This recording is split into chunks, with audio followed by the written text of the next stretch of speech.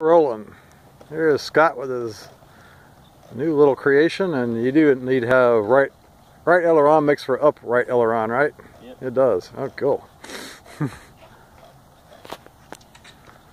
that right? Go right, yeah, you're right. Yep. Right aileron, right. Stick to the right should mean your right aileron goes up.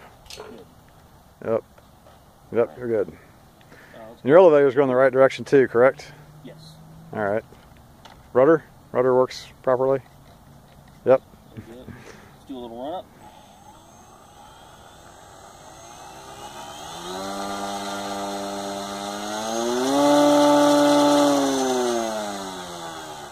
Sounds healthy.